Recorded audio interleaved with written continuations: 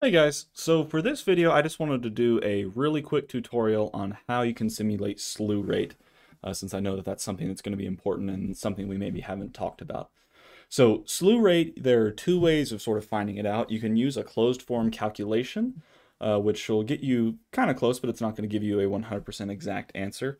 And the best way and the way I'm going to be talking about today is actually going to be simulating it. So if you simulate slew rate, it'll actually use the transistor models themselves and give you a little bit more accurate solution. So you can see how something like an op amp will perform with the step input.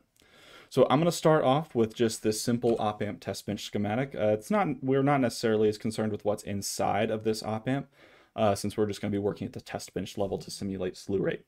So for this, what we currently have is a VDC voltage source connected to the positive input, and then a negative feedback, a unity gain buffer. So we have a, unity gain feedback system going into our negative input, so this is going to be operating as a buffer. So what we need to simulate slew rate is that we want to see how the op amp responds to a step input. So we want to have it start off maybe at zero volts and then step up to VDD and we want to see how long it takes for that output to respond. So it's going to be maybe the speed of the op amp. You can think how quickly can it change its output. So if we take a look at our VDC voltage source, it doesn't have anything that we can use to get a step input, so we're just going to have to get rid of it. So for this first one, I'm just going to delete this VDC voltage source, and we're going to replace it with a different type of source. So it's going to be from analogLib, just like the other one, and the one we're looking for is V pulse. So we're going to be looking for V pulse. Click away, that way it'll actually load up. And I'm just going to go ahead and set it down first, and then we'll talk about some of the properties. So if we press Q on this and look at some of the properties, what we'll see is we will see that it's got it's got a lot of different stuff on it that we can talk about. So we still have our DC voltage. So if I put this back at uh, VDC or something like that, uh, we can still use it for a DC voltage simulation. If it's a DC simulation, it'll only use this voltage. Same thing for AC. If we wanted to do an AC simulation, we could set an AC magnitude, and that's all fine and good. But what happens is that we now have these additional parameters down here that it'll let us tune and tweak for us to actually see what happens here. So voltage 1, that's going to be our sort of off voltage. You can think of it that way. So I'm going to leave that as 0 volts. And voltage 2, that's going to be our on voltage. We want to set that to VDD. Now, period is going to be the time it takes to complete one cycle of this. So it's going to continue pulsing, and the pulse period we're going to have to define here. So for this one, I'm going to go ahead and set my period to be 0.2 microseconds, and it should correct it to 200 nanoseconds. Now, delay time. So delay time is going to be the time it takes for it to start the first initial pulse. So the time it's going to stay low before it starts your first pulse, and then it'll go back down. So for the delay time, let's make it 100 nanoseconds. Rise time, fall time, we're just going to leave these blank, let it default to whatever it needs to. If you were really trying to tweak, you could change these if you wanted to. And then pulse width, I'm just going to go ahead and define it. Uh, if we don't define it, it'll should, should default to just half of our period, but I'm going to go ahead and define it to be 100 nanoseconds, just to make sure it knows we're all on the same page. We can hit apply, okay. Let's save and check our schematic to make sure there aren't any errors. Okay, so now we didn't get any errors. Let's move on. Well, let's go ahead and start with just a simple simulation first. So if we click run on here, I've got my ADE L window up and running. We should be able to see the output from the DC simulation. Oh, looks like we terminated with an error. Looks like maybe I got one of the parameters wrong. Maybe it wasn't supposed to be VDC. Let's check, take a look and see. Yep, that was it. We weren't supposed to use VDC here. We were supposed to use VN. So I'm going to go back and change that. Let's change this to be VN. Save and check one more time. And now let's try and run. Let's just do a DC simulation first. And we'll get rid of this extra one that we don't need. So let's right click on it. Just hit delete. Now let's run it again.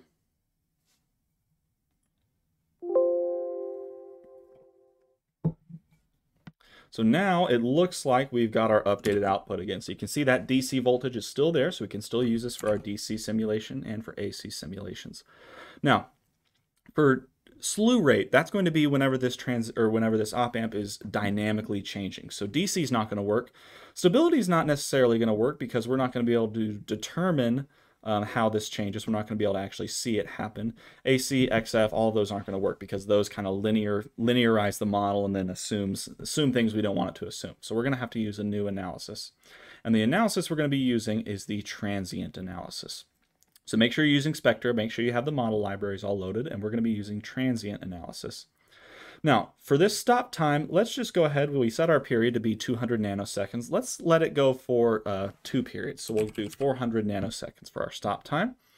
Uh, we're not going to click any of these. This is just a little bit of extra information. We don't really care about it as much. We're just going to hit OK. Okay. Oh, DC variable name. Did we put something? We might have put something wrong. Let's try 0.4u. DC variable name string does not represent a design variable. Interesting. Maybe we have something, something, something set somewhere. Let's try and cancel this. We'll just disable all of our analysis and we'll start over one more time. There we go. Okay. So let's go ahead and try running it. We'll go ahead and enable our DC simulation as well. And it looks like looks like it was successful. So we've got our DC simulation. Now we haven't told it what we want to plot yet, so it hasn't plotted anything. So let's go to results, direct plot, and main form. And now, once this pops up, it's going to be asking us if we want, uh, we're going to choose our analysis. So for this one, we want transient. That's the only one that we have. But if you have multiple, you want to select transient. We're going to be looking at voltage, and we're going to be selecting a net. Now we're going to go ahead and add these to the output. Back on our schematic, we're going to select our net. Let's go ahead and take a look at the input. Let's see what the input looks like and see if that's what we expect. So our input, we can see it starts off at zero volts and then it pulses up to VDD and then pulses back down and pulses back up. So this is looking kind of like what we expect. Now let's select our output. So if we select our output net, we can see that our output net does not look quite the same as our input net, right? So maybe this one's running a little bit too fast. Maybe we want to uh, make sure we can see this linearization. So maybe we might want to extend this pulse time a little bit. But this kind of gives us a hint of what's going on. So we can see our input is pulsing up almost immediately, right? It's very, very, very quick. But our output is not that quick. Remember, it's got we've got capacitors and things like that in here, so that's going to take some time to charge. And that's what we're seeing here. We're seeing this taking its time to charge. Now, before we actually measure this, let's go ahead and extend the time just a little bit to maybe make sure that we can make sure that we can actually see all these features. Even though it looks like we can see enough, we might want to extend the time just a little bit. Okay, so I'm going to go back to our schematic. Let's change our pulse, and we're going to change the period. Let's just go ahead and change it to 400. Delay time, we'll keep that. Oh, let's make it 200. Okay, apply there. And now on our simulation, we're going to change, oh, we'll just leave it. So now we'll only see a single pulse. We'll leave this at 400, rerun it. We might need to save and check again. That's a good point. So now let's rerun.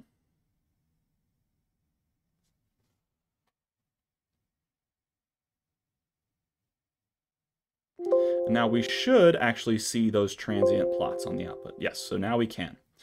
So now we can definitely see that after some period of time, it does eventually reach this peak, right? Now, there are some oscillations that kind of ring out. There's some oscillations down here as well.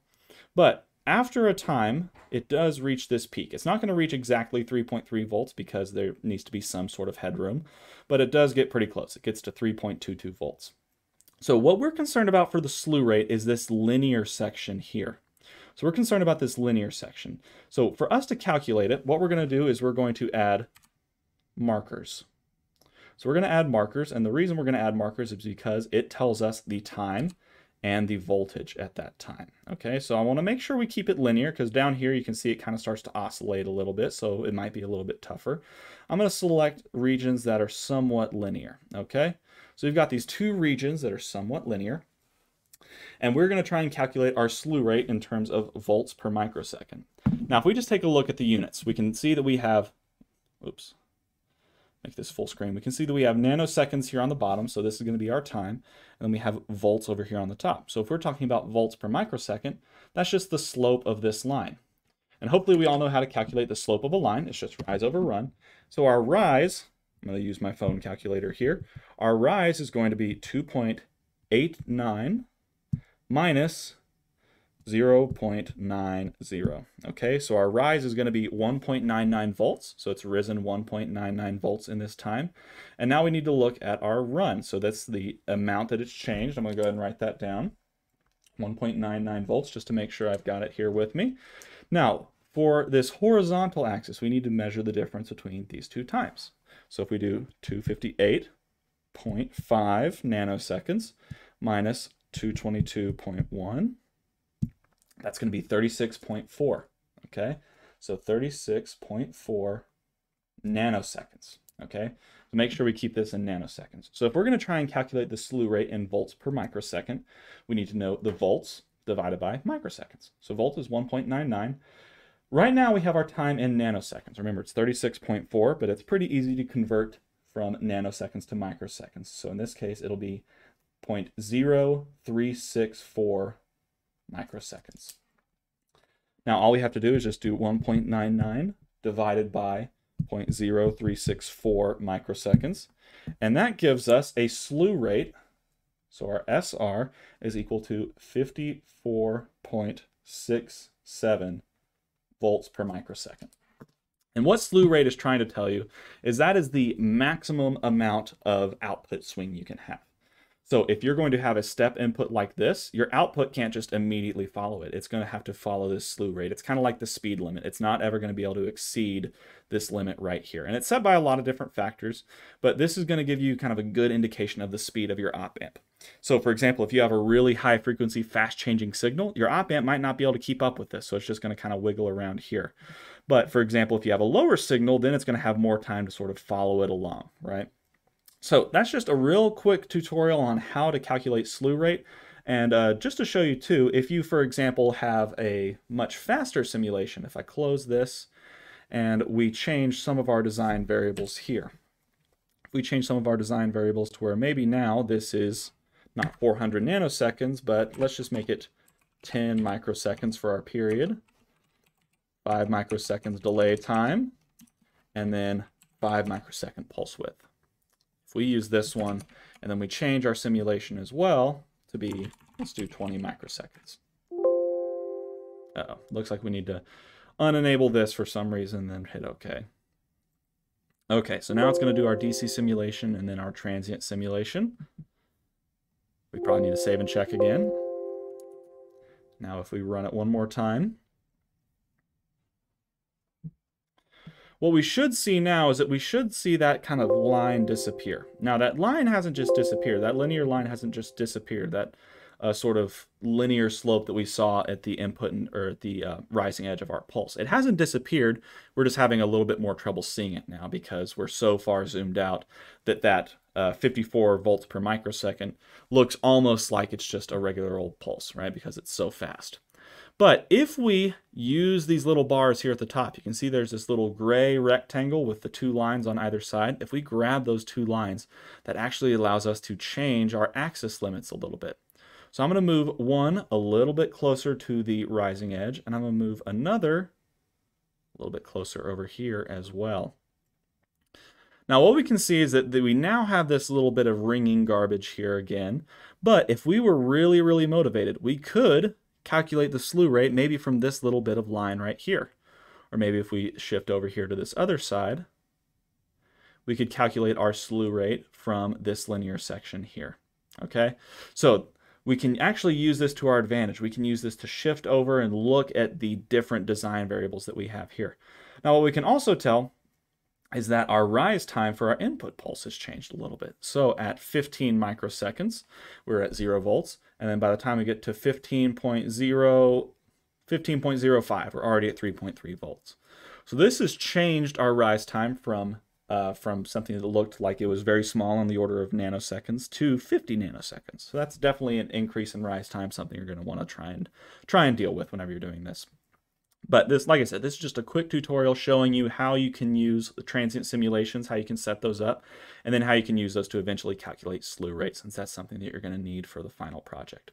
So if you guys have questions, just leave them down in the comment section below or send me an email. Other than that, thank you guys for watching.